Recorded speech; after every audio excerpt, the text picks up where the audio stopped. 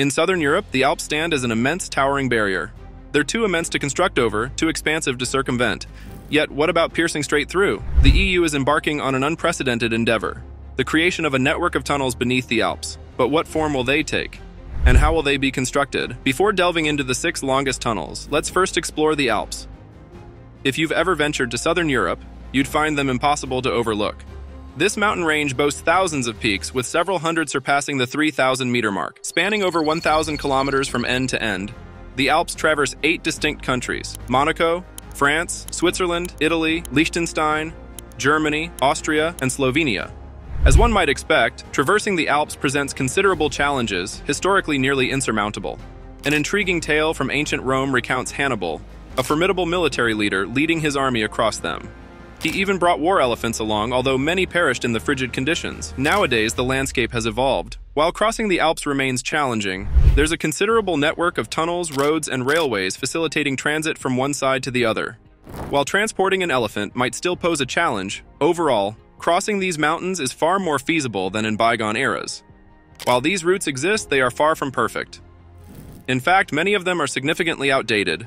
One notable example is the Semmering Railway, which is arguably the oldest mountain railway in Europe, dating back to the 1850s. Although it boasts an impressive infrastructure with numerous tunnels and bridges, it falls short in terms of speed compared to modern railways, and has limitations in terms of its capacity to carry heavy loads. For passengers, the leisurely pace of the journey may not be bothersome, especially considering the stunning scenery along the way. However, these railway lines also serve as crucial arteries for freight transportation, with over 200 million tons of goods transported through the Alps annually. For freight operators, the slow and antiquated rails pose a significant bottleneck, and the picturesque views are not sufficient compensation for this inefficiency. In summary, these transit routes are urgently in need of modernization, and this is precisely what the EU is currently working on. Let's discuss the Trans-European Transport Network, commonly abbreviated as TEN-T. To begin with, it's crucial to note that the scope of TEN-T extends well beyond the Alps. It represents a monumental initiative aimed at enhancing transportation infrastructure, including roads, railways, shipping routes, and waterways across the entirety of the European Union. The objectives of TEN-T are straightforward and ambitious. As stated on their website, the aim is to establish seamless transport systems across borders, eliminating physical gaps, bottlenecks, or missing links. Notably, the aging railways in the Alps pose significant challenges as bottlenecks for freight trains, hence prioritizing their improvement within the TEN-T plan. The concept of TEN-T was initially conceived in the 1990s. However, it wasn't until 2013 that the European Union formally announced a comprehensive plan outlining nine core network corridors targeted for upgrade and enhancement. Let's quickly run through those corridors one by one. Perhaps you're familiar with some of them. First up is the Baltic Adriatic Corridor, stretching from Poland to Italy. Then, we have the North Sea Baltic Corridor, which extends from Finland all the way to Belgium. Originally, this corridor was intended to include Britain, but Brexit led to its termination in Belgium instead. We have the Mediterranean Corridor, connecting Spain to Hungary, followed by the Orient East Med Corridor from Germany to Cyprus. The Scandinavian Mediterranean Corridor spans from Finland to Italy, while the Rhine Alpine Corridor stretches from the Netherlands to Italy. Additionally, there's the Atlantic Corridor from Portugal to France, the North Sea Mediterranean from Ireland to France, and finally, the Rhine Danube Corridor, which runs from Germany to Romania. Rest assured, we won't delve into the specifics of each corridor. Overall, the TEN-T is poised to revolutionize European travel, making it more accessible for people across the continent to reach their destinations. And when it comes to the Alps, the EU is reshaping the future of travel through extensive excavation efforts. The process of constructing tunnels for railway lines is intricate and time-consuming. Typically, it follows a series of steps, Initially, a team selects a starting point and an end point. Then they commence digging and drilling, often simultaneously from both ends of the tunnel. Gradually and cautiously, while reinforcing the tunnel walls as they progress, the two teams converge until they finally meet in the middle, an event known as the breakthrough. Subsequently, the tunnel undergoes further reinforcement before the railway lines are installed. However, this method can encounter complications. During the construction of the Lötschberg Tunnel, a 15 kilometer alpine tunnel completed in 1908, workers inadvertently breached a water pocket, resulting in a tunnel flood and the loss of 25 lives. Moreover, there's always the risk of cave-in since a tunnel essentially functions as a hollow tube subjected to the pressure of thousands of tons of soil and rock from above. Despite these challenges, the EU has successfully completed the excavation of two enormous new tunnels.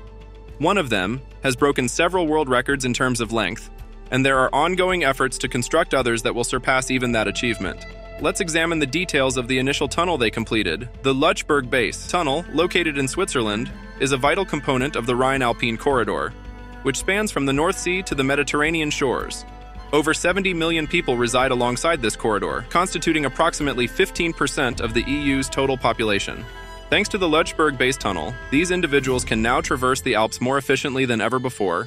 Named in proximity to the original Lötschberg Tunnel, completed in 1913 and tragically marked by the deaths of 25 workers due to a flood, the new Lötschberg base tunnel surpasses its predecessor in both length and speed. Stretching over 35 kilometers from end to end, it enables a significant reduction in total travel time, potentially up to 50%. The benefits of the Lötschberg base tunnel extend to both passengers and freight transportation, offering potential environmental advantages as well. Increased train usage over cars and planes could lead to a substantial decrease in emissions and potentially alleviate road congestion and hazards. In fact, one freight train has the capacity to replace approximately 60 heavy vehicles, theoretically. While the construction of this colossal tunnel primarily involved traditional drilling, digging, and blasting methods akin to those used in the original tunnel, approximately 20% of its length was excavated using a modern tunnel boring machine, TBM. TBMs are massive machines equipped with a rotating cutter head at one end and a thrusting system behind it. Powered up, they tunnel through rock like mechanical worms, expelling waste debris as they progress. Some TBMs even reinforce tunnel walls by laying down concrete or rock bolts as they advance. Compared to traditional drilling methods, modern tunnel boring machines, TBMs, offer significant advantages in terms of speed and reliability. This advancement has greatly influenced the European Union's approach to tunnel construction. Historically, routes were designed to minimize the need for extensive tunneling. They would wind down mountain passes along slow, circuitous paths. When tunnels were necessary, they were often situated near the mountaintop, where the rock was narrower, requiring less excavation. However, with the advent of powerful TBMs, the EU has shifted towards constructing base tunnels. Massive tunnels that cut directly through the base of a mountain.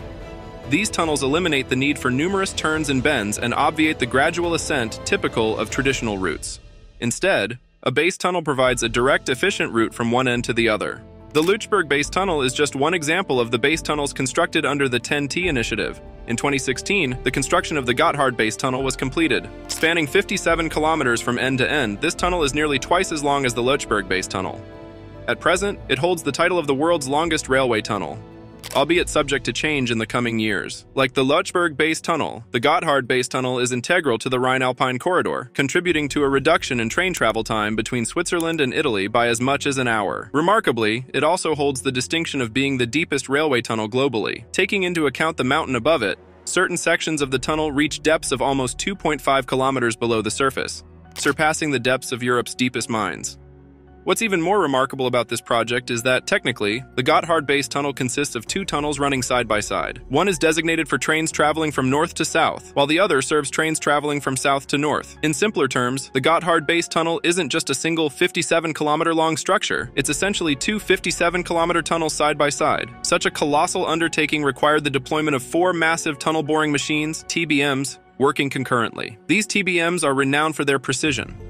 For well over a year, two teams directed their TBMs through the mountain, one traveling north from one end of the tunnel and the other traveling south from the opposite end. When they finally converged in the middle, they found that their tunnels were almost perfectly aligned, with only a minor discrepancy of 4 or 5 millimeters between them.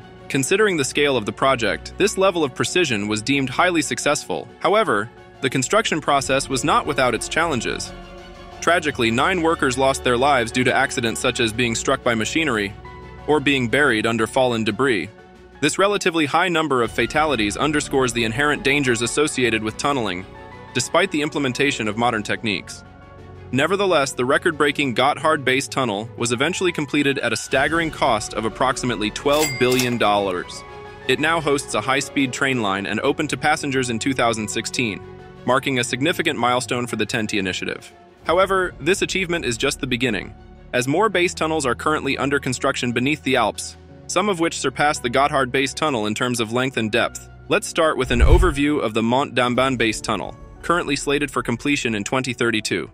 This tunnel forms an integral part of the Mediterranean corridor, which traverses the Alps, connecting southern Spain to Hungary. Upon its completion, the tunnel will span an impressive 57.5 kilometers, surpassing the length of the Gotthard base tunnel by a couple of hundred meters. Similar to other base tunnels, it consists of two parallel tunnels connected by maintenance shafts. The construction of the Mont d'Ambin base tunnel entails excavating over 100 kilometers of rock. To expedite this process, plans involve employing eight tunnel boring machines, strategically spaced along the tunnel tunnel's length. Spanning between two separate countries, the tunnel begins in France and exits in Italy. The introduction of high-speed trains within the tunnel promises to revolutionize travel, significantly reducing journey times. For instance, passengers traveling from Lyon to Turin or Paris to Milan will experience travel times more than two hours faster than previously possible.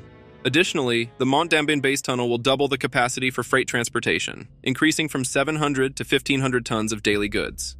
The estimated cost of the entire project is approximately $8 billion, with the European Union financing 40% of the expenses, while France and Italy share the remaining costs. This initiative serves as a prime illustration of the objectives of the TEN-T, aiming to create new transport routes that alleviate bottlenecks and enhance travel convenience for all. However, somewhat surprisingly, not everyone is supportive of this plan. Concerns have been raised by local residents at both ends of the tunnel, particularly in France and Italy, regarding the introduction of high-speed trains. They express apprehensions about the noise, safety risks, and potential damage to ecosystems caused by these trains. Despite these objections, the project is proceeding, albeit amidst protests, demonstrations, and legal appeals to European courts. This scenario serves as a poignant reminder that despite the ambitious goals of the TEN-T initiative, there are differing opinions on its necessity and cost effectiveness, particularly considering the significant financial investment involved. Together, the construction costs of the Lötschberg Base Tunnel, the Gotthard Base Tunnel, and the Mont d'Ambin Base Tunnel exceed $20 billion. Moreover, there are several other tunnel projects yet to be mentioned. In Austria, construction teams are currently focused on the Koralm Tunnel, a 30-kilometer tunnel segment situated more than 1,000 meters underground. During the construction process, the project encountered pockets of groundwater, necessitating the implementation of proper waterproofing measures for the tunnel walls. To address this, an environmentally friendly, plastic-free liner has been installed along the entire length of the tunnel. The Koralm Tunnel is nearing completion and is anticipated to open for passenger train services sometime in 2026. Another noteworthy project in Austria is the Semmering Base Tunnel, aimed at modernizing the historic Semmering Bahn, which is recognized as the oldest mountain railway in Europe. This ambitious endeavor involves the construction of a 27-kilometer tunnel, expected to significantly reduce travel times through the Alps by at least 30 minutes. And lastly, let's turn our attention to what is poised to become the longest tunnel in the Alps, the Brenner Base Tunnel. Before we delve into details, if you found this video enjoyable thus far, we would greatly appreciate your feedback in the comments section. Don't forget to subscribe if you'd like to see more of our content. Now let's get back to discussing the Brenner Base Tunnel, undoubtedly the most ambitious project among them all. Similar to the Mont d'Ambin Base Tunnel, it will traverse two different countries, from Austria on the northern side of the Alps to Italy in the south. Spanning a total distance of 55 kilometers, the Brenner Base Tunnel is slightly shorter than the Mont d'Ambin Base. However, it also incorporates a 9-kilometer side tunnel known as the Innsbruck Bypass, bringing the total length to 64 kilometers. While it may not be a single straight line, this hasn't deterred the team behind the Brenner Base Tunnel from hailing it as the longest underground railway connection in the world. Once again, similar to previous projects, the Brenner Base Tunnel consists of two side-by-side -side tunnels, complemented by a smaller third exploratory tunnel beneath them. However, what sets this project apart is the intriguing twist in the tunnel design. In Austria, trains operate on the right-hand side of the tracks, while in Italy they run on the left-hand side. This unique feature reflects the collaborative efforts between the two countries to ensure seamless transportation across borders. Inside the Brenner Base Tunnel, deep beneath the surface, it's indeed a literal twist in the tunnel design. To accomplish this feat, engineers are employing a formidable fleet of tunnel boring machines, each affectionately named Serena, Virginia, Lilia. Presently, these machines are diligently excavating through the heart of the Alps, steadily advancing and expelling rock in their wake. The Brenner Base Tunnel is currently slated for completion in 2032, with an estimated cost of around $11.4 billion. When combined with the expenses of other alpine tunnels, the total expenditure approaches nearly $45 billion. Additionally, there are smaller tunnels under construction, such as the 15-kilometer Ceneri Base Tunnel, which unfortunately we didn't have time to discuss. These monumental infrastructure projects are poised to revolutionize Europe's transportation landscape. However, the question remains, are they truly worth the substantial investment? We eagerly await your thoughts and opinions in the comments section below.